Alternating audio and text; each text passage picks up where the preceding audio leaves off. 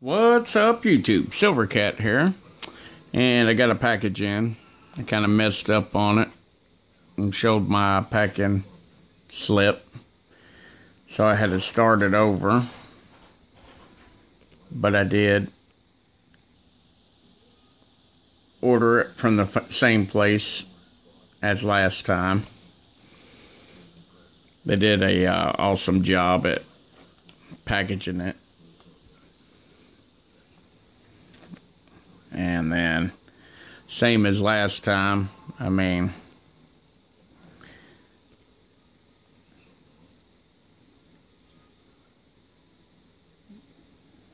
they look brand new. So,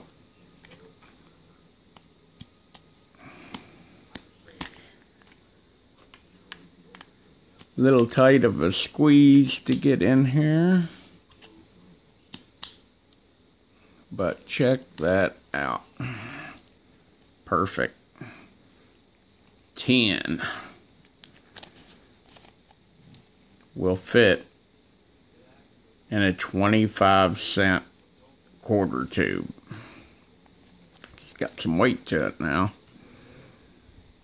Pretty nice. Uh, I bought these for my personal collection. I didn't, when I ordered this and when I decided to do a tube, it wasn't to resell and try to make money off of or anything. This is my personal, personal stack that I'll probably keep to the day I die.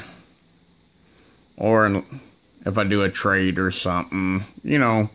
But I didn't get this on plans to make money off of them and resell. But with that said, I'm going to show y'all a box that I got at one of my stops. Oh! And what it is, let me get this tripod out of the way. I got this about, ah, probably about six months ago. And it's a uh, Cardinal Health box. Probably medical supplies or something come in it. Don't worry the virus wasn't even remotely thought about at this time when I got this box. But they were going to throw it away. And uh, I don't think Cardinal Health was wanting them to throw it away. I don't know why you would throw away a, you know, a nice box like this. But uh, I grabbed it.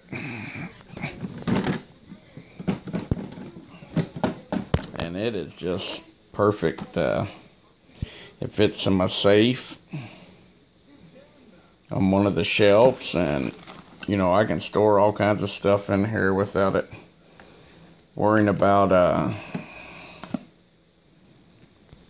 stuff falling around and so got that tube done throw her in there.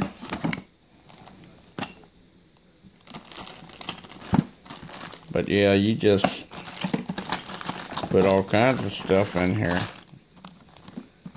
Stacks up good. Uh, I am going to get me some of them moisture packs. Well, there you go. Little full. Works out good.